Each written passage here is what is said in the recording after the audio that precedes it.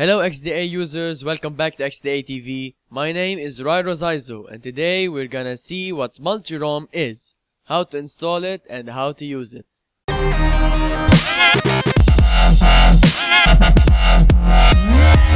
So first of all, what is multi-ROM? As the name suggests, multi is multiple and ROM is, well, you know. So it's a thing that sits right after your bootloader and lets you pick what operating system you want to boot to. If you're familiar with Linux or dual booting your PC, it's like Grub on your mobile. So to show it to you, we're gonna have to install it first. So let's go ahead and download Multi-ROM and install it from the Play Store.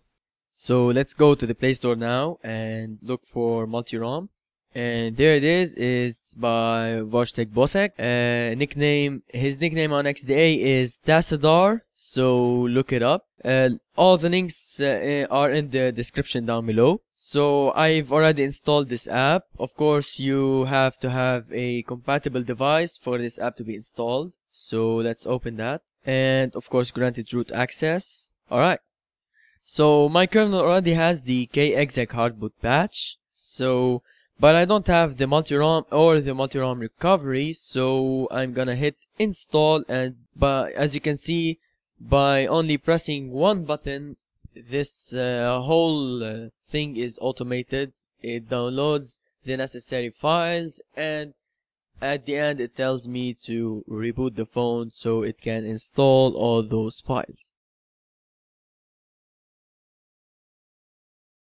And so as you can see here, it tells me that I have to reboot into recovery to complete the installation. It actually installed the TWRP modified multi-ROM recovery, so we'll just have to reboot to recovery and install the actual multi-ROM thing. So let's reboot now. And suddenly we're flashing. And then it reboots automatically to something we like to call multi-ROM.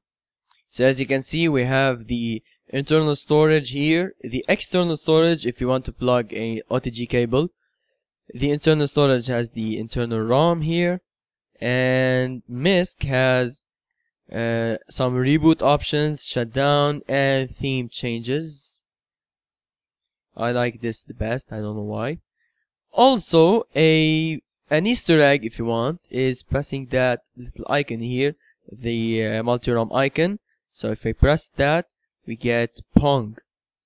Get to play Pong with a very hard AI. So anyway, you press the power to go back. And the only thing that's installed here is the internal ROM. Whew! That was a little tiring now, wasn't it?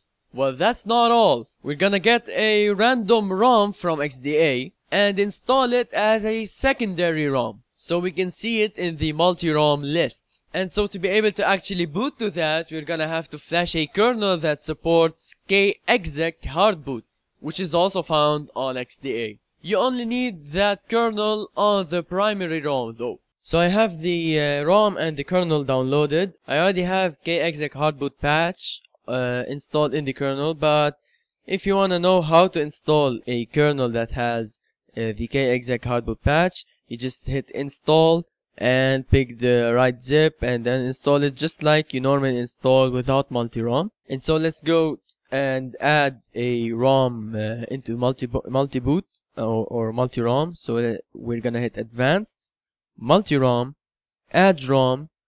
It's Android, of course. It's installed into internal memory, so I'll just hit next. Pick the zip file. It's in Android. It's SlimKat. And now I'm actually installing a 4.4.4 KitKat ROM on a 5.0 based uh, device if you want. My primary ROM is uh, factory images, is 5.0 factory images, and I'm multi-booting an Android that is 4.4.4 KitKat. And it's done, so I just reboot this to the system, skip the auto boot thing, and there it is. There's internal and there's slim uh, build 8.8 uh, I can choose to boot that or choose to boot internal or I can configure an auto boot to boot after a predefined number of seconds or whatever And that's basically it. Let's try booting SlimKat now. And there it is, SlimKat 4.4.4. You want proof, I can give you proof. There it is, Android 4.4.4. Alright, so that's it. I dual booted my phone, actually. I have two ROMs installed at once, and that's it. Okay, so we installed multi-ROM and dual booted another Android ROM. What else? How about a non-Android operating system? You can actually download and install Ubuntu Touch right from the app with a single tap on the install button and you're all set. But I'm not gonna do that. I'm gonna get Firefox OS and put that as my third entry in multi-ROM and see if I can boot to that. Okay, so now that I've downloaded the uh, Firefox OS uh, zip file, I'm gonna go again to advanced, multi-ROM, add ROM, and it's Android based, so I'm gonna hit next, zip file, FFOS, and swipe. And that's it, flashing is done, so I'm gonna reboot the system, skip the auto boot, and boot to FFOS Mako. And booted! And there it is. After a quick um, setup this is Firefox OS so that's it from me today. Be sure to hit the like button if you like this video subscribe to XDA's channel right here and to my channel right there to get more content like this. Thank you for watching this video. This was Rirozizo and I'll see you soon